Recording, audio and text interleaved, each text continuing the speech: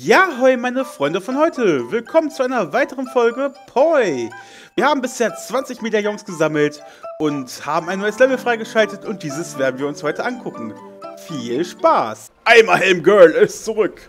Und Eimerhelm Girl will zu den sinkenden Senden, Leute. Da gehen wir heute hin. Sinkenden Sende. Sinkenden Sande. Ist Sande wirklich richtig? Ich weiß es nicht. Erklimmen des Glockenturms. Wieder mal sind fünf, in Zahlen fünf Medaillons unser Ziel. Dann haben wir theoretisch ein Viertel des Spiels abgeschlossen, ne? Um den Dreh. Oh, oh wie, wie cool. Die haben ja Helme auf, äh, äh, Hüte auf. Also Helm und Hüte. Schick, schick.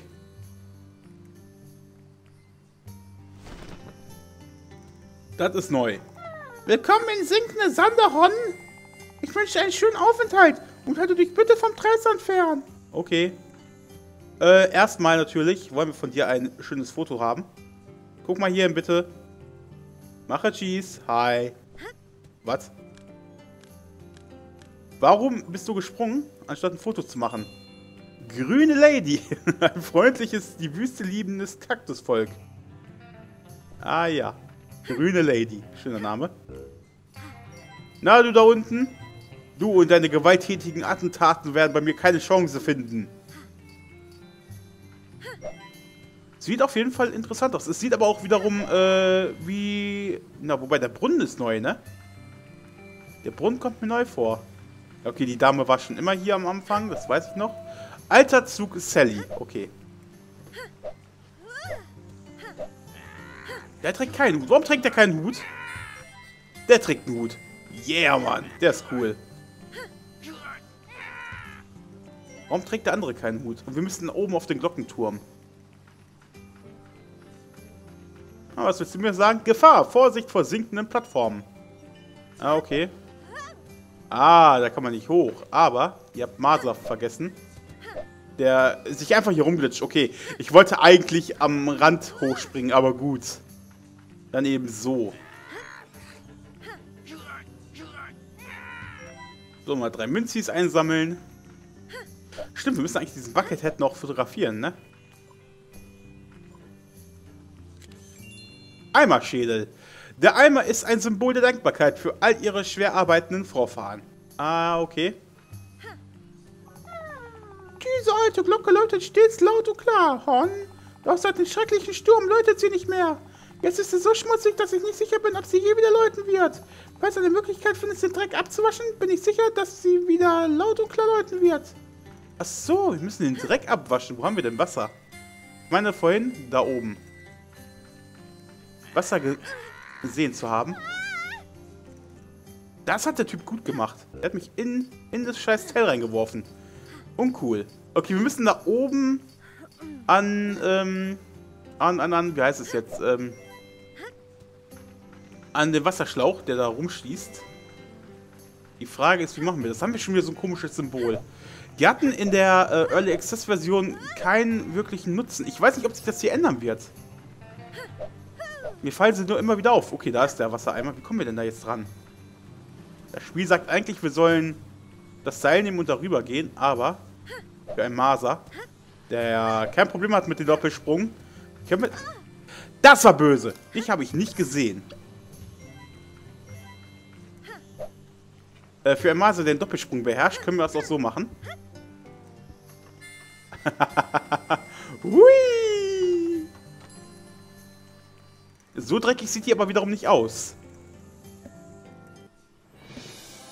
Aber unsere Belohnung folgt schon. Und diesmal taucht sie nicht einfach auf, sie fällt aus der Glocke raus. Natürlich.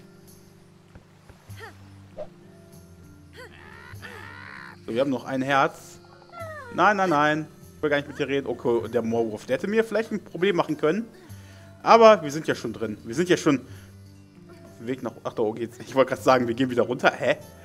Wäre, glaube ich, nicht richtig gewesen. Wäre um Längen nicht richtig gewesen. Ich mag die Musik hier. Die hat was. So wüstenmäßiges auf jeden Fall. Medaillon eingesammelt. Erklimme, Erklimmen des Glockenturms in 3 Minuten und 40 Sekunden. Ich mag die Zeiten hier. Finde ich cool, dass man so einen Blick hat, wie lange man für etwas gebraucht hat. Das ist echt cool gemacht. Gefällt mir. Die alte Sally starten. Ach. okay, schön. Gut, dass sie das zeigen. Ich hätte mich gedacht, wir müssen einfach nur die alte Sally starten. Aber wir müssen dann wohl das Medaillon ähm, sammeln. Ist gut. Ist sehr gut. So, hallo Maulwurf. Lass mich bitte in Ruhe. Ja, ich weiß, du hast mich gesehen.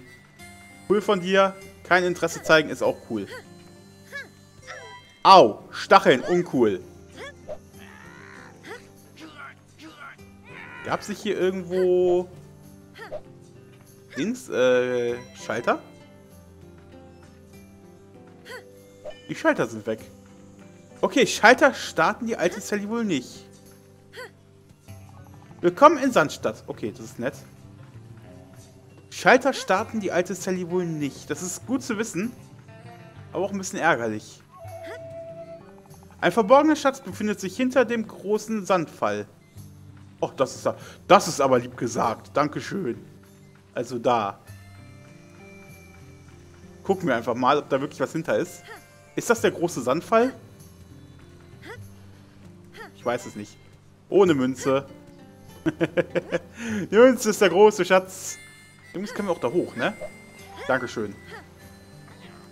Au, Mann! Diese verdammten Maulwürfe sind so nervig, ne? Ich hasse die Viecher.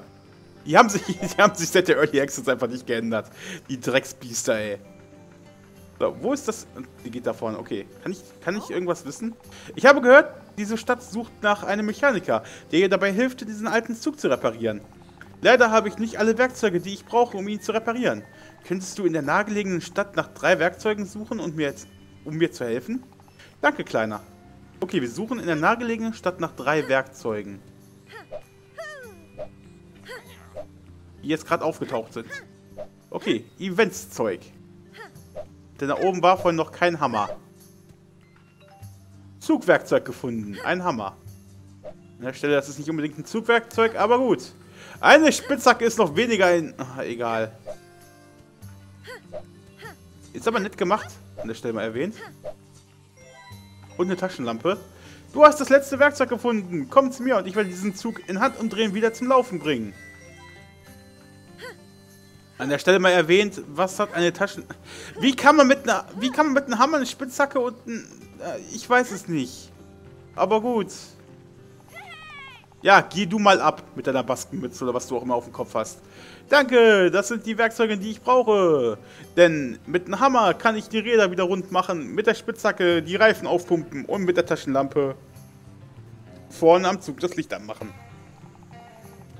Das sollte nur eine Sekunde dauern.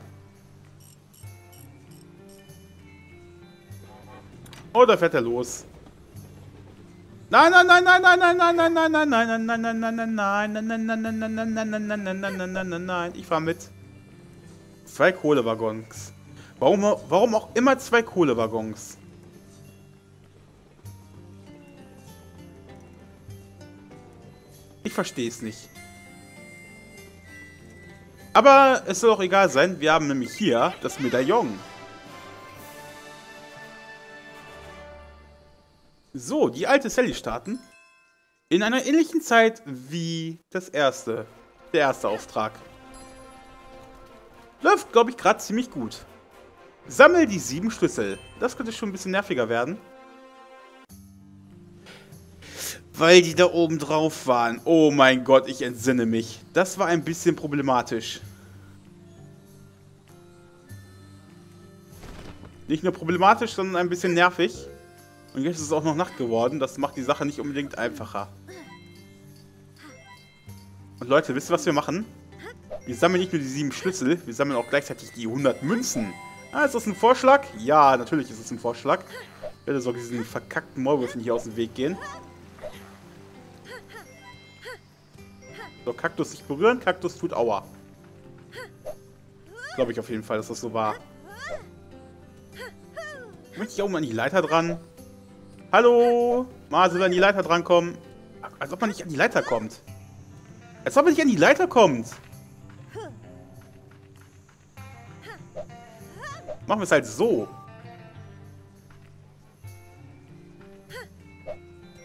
Dankeschön.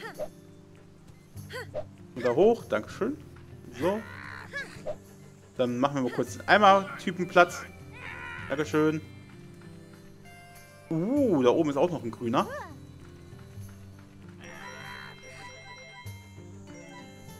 Das Problem, was wir haben, wenn wir getroffen werden, müssen wir die Münzen unbedingt einsammeln.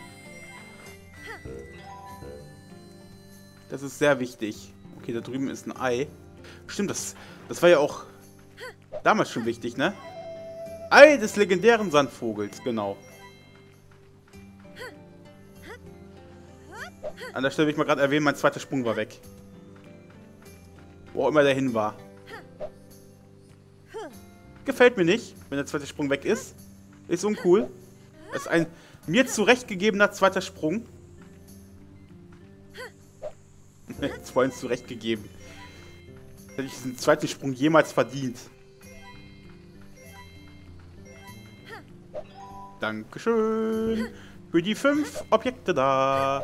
Undichter Wasserturm. sagt mir das jetzt, dass er undicht ist? Dass ich das wissen muss? Weiß es nicht. Ist uninteressant. Interessiert mich nicht. Ist ja nicht mein Wasserturm, der undicht ist. Der Sender da oben ist, glaube ich, neu. Der fällt mir jetzt gerade mal so auf. Und ich auch hier irgendwo eine Lore rum. Wie zum Beispiel die da. Ah, hier ist ein Checkpoint. Sehr schön. Gut, ich hoffe mal, da war nichts. Da war die Lore. Können wir da irgendwie drauf?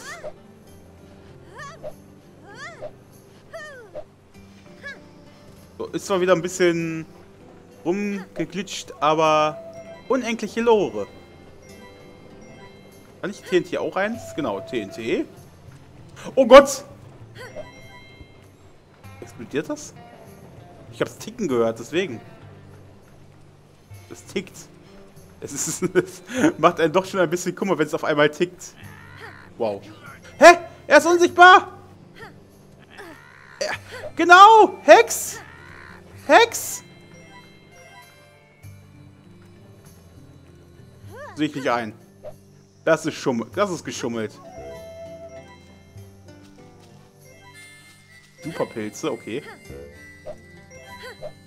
Das war definitiv geschummelt. Könnt ihr mir sagen, was ihr wollt. So, hier nochmal ein Kakteen vorbei. Die ma machen nämlich Schaden. Ich mag's, wenn ich Münzen einsammle, die am Ende keinen Sinn ergeben, weil ich sie wieder verliere. Das ist Fortschritt, den ich liebe. Da unten ist der Typ. Da ist noch so eine Schlange. Kriegen wir wenigstens Energie wieder. Oh Gott, die Schlange habe ich gerade voll übersehen. Oh, habe ich mich jetzt gerade erschrocken. gerade vergessen, was wir eigentlich machen sollten. Ich glaube, die sieben Schlüssel finden, ne? So, auf jeden Fall haben wir schon mal genügend, um das Medaillon zu kaufen. Ist schon mal sehr praktisch.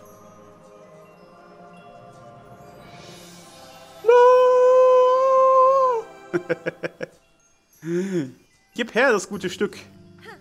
Dankeschön.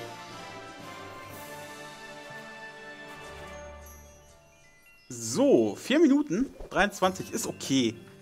Ist auch eine große Aufgabe. Jetzt klettern wir eigentlich nur nach oben und sammeln die sieben Schlüssel. Das sollte eigentlich viel schneller gehen.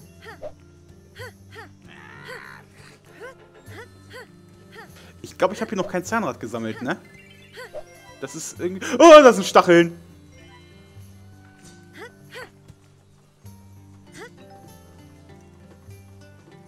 Soll ich mal was sagen? Mir gefallen diese Balken hier nicht. Soweit ich mich entsinne, wackelt das Teil sogar mit in, da, in die Richtung, in die wir gehen. Aber ich glaube, die Balken sind dicker geworden, ne?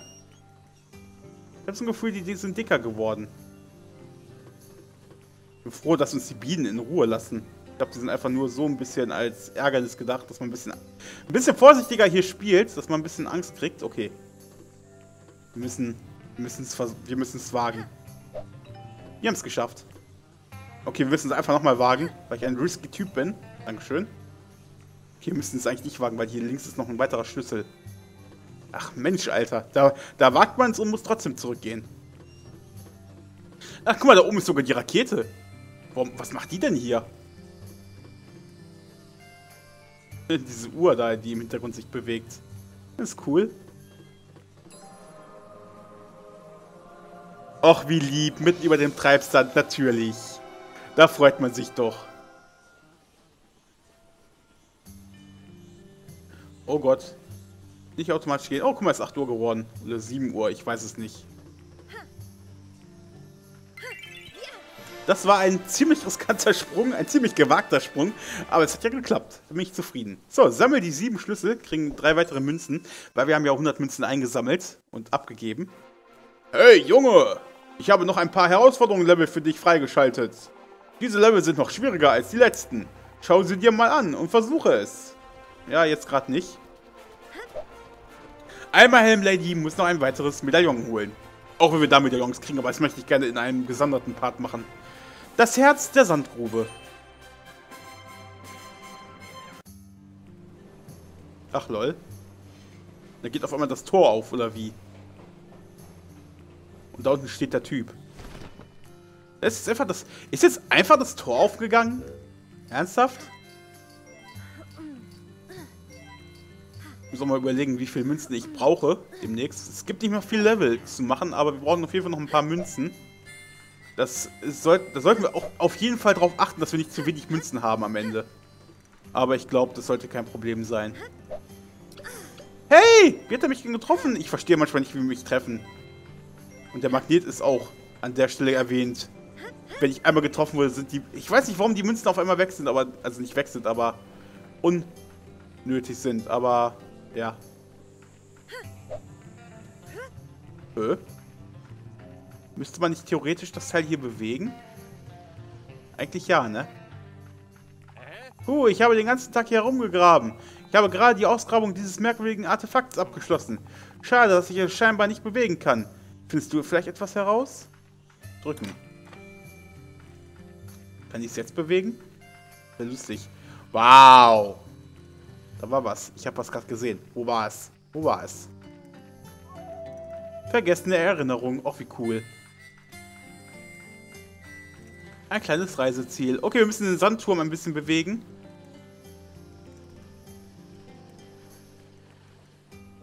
Das Teil bewegt sich nicht zurück, wenn ich das aktiv habe, ne?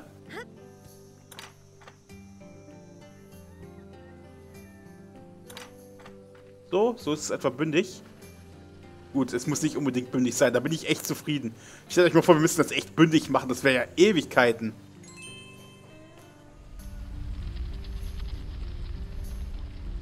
Ja, ja, und der Typ, der Typ bleibt einfach da stehen und denkt sich so, ja, passiert ja eh nicht, so wie der Ring dadurch durchzieht. Alter, risky Typ, der Typ. Der traut sich was. Kann ich eigentlich... Ich darf das berühren, okay.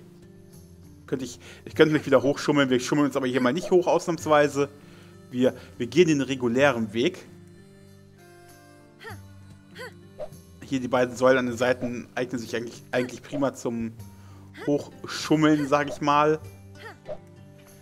Aber muss ja nicht immer schummeln sein. So.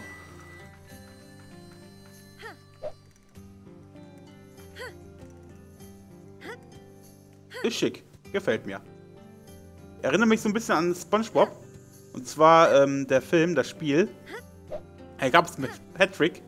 Patrick hatte man auch so welche komischen äh, Gebiete, wo man mit Jump'n'Runs durch musste. Da kamen so, ich glaube, das waren generell immer Würfel in allen Formen. Und äh, da musste man halt durch so welche Jump'n'Runs und dann sollte man nicht runterfallen. Beziehungsweise konnte schon runterfallen, man hatte aber ein Zeitlimit und das war nicht gut. Jetzt frage ich mich mal gerade, was äh, mit der Kamera ist. Ob wir. Oh, guck, guck einer an, wir kriegen sogar Bilder davon. Wie schön. Wir müssen noch die Biene fotografieren, die Schnecke, die Schildkröte, diese komischen Krabbelfiecher von der Wand, die Fledermäuse, die Schlange haben wir, irgend so ein komisches Wuschelvieh, keine Ahnung. Den haben wir. Ach so. Ach, das sind die Bewohner. Schön. Die Bewohner, irgendein Vogel, einen dickeren Vogel, ein Oktopus. Ist das überhaupt der Oktopus? Ich weiß es nicht. Das sieht nicht aus wie der Oktopus, deswegen. Mich irritiert halt dieses Blooper-Gestirn-Dinge da oben, deswegen. Der große Eimerhelm, den erkenne ich zum Beispiel. Das sieht aus wie ein großer Maulwurf. Da habe ich so ein bisschen Respekt vor, weil ich nicht weiß, was mich da erwartet. Und so ein Eisengolem. Äh, oder Steingolem oder was auch immer. So, wir haben schon acht Orte in den sinkenden Sanden gefunden. Das ist gut, das ist echt gut. Das gefällt mir. So, und noch keine Fossilien. Das ist weniger gut. Und uns fehlt noch ein Item. Können wir es uns leisten? Ach, der Kompass fehlt nur noch. Ja, aber wenn das so ist, kaufen wir. So. Kompass übrigens äh, sehr praktisch, wenn wir mal hier rumscrollen würden. Da haben wir ihn. Dann taucht unten so eine Leiste auf. Die können wir auch durchgehend eigentlich anlassen. Das macht keinen Unterschied. Dann sehen wir zum Beispiel, da ist der Osten, ist jetzt gerade nicht unbedingt so wichtig. Ähm, wichtiger ist eher der Punkt, dass wir halt Leute sehen, wenn zum Beispiel das Mädchen hier ist. Also wir sehen den Typen zum Beispiel, wir sehen, dass das Mädchen irgendwo ist. Das Mädchen ist übrigens an der Stelle mal erwähnt, äh, ganz oben drauf. Das können wir eigentlich mal kurz ansprechen. Ich glaube, dann kommt das nämlich darunter. Das wäre dann doch schon eher praktisch. Hallo, junge Dame. Ach, verflixt, ich hab, ihr habt mich gefunden. Ich bin auf euer Schiff gesprungen, bevor ihr den Wald verlassen habt. Ich will auch ein Abenteuer erleben. Wie auch immer, da wir jetzt zusammen auf Abenteuer gehen, kann ich dir wohl ein paar Tipps und Tricks geben, wie man ein großer Forscher wird. Ihr werdet froh sein, dass ich dabei bin. Ja. Also das Einzige, was sie uns machen wird, ist übrigens, äh, können wir mal hier zeigen. Das sieht man jetzt hier noch nicht. Also wir sehen hier, was wir für ähm, äh, Medaillons alles kriegen können. Wir können noch für goldene Zahnräder eine ganz, ganze Menge kriegen. Äh, wir können für Otto Fusilli noch ein paar kriegen. Ähm, aber an der Stelle nochmal erwähnt, ähm, wir kriegen auch von ihr 10 Medaillons, nämlich für 10 äh, Spieleaufgaben, spieleinterne Aufgaben. Finde ich eine lustige Idee. Ähm, was es damit auf sich hat, sehen wir demnächst mal, aber heute nicht. An heutiger Stelle möchte ich gerne den Part beenden. Wenn es okay ist. Wenn ihr nichts dagegen habt. Ich bedanke mich jedenfalls fürs Reinschalten. Leute, und wir gehen mal kurz in das Outtake-Dings da, ne? Was ich immer am Ende mache. Viel Spaß. Äh, oh. Masa, erzähl ihnen, wie der Part war. Ja, Vergangenheitsmaser. Tolles Ende. Hast du toll gemacht. Super Applaus. Leute, ich hoffe, euch hat der Part gefallen. Oben links ist, die, ist der letzte Part und links ist die Playlist. Habt noch einen schönen Tag. Bewertet den Part. Und Masa la Vista, Baby.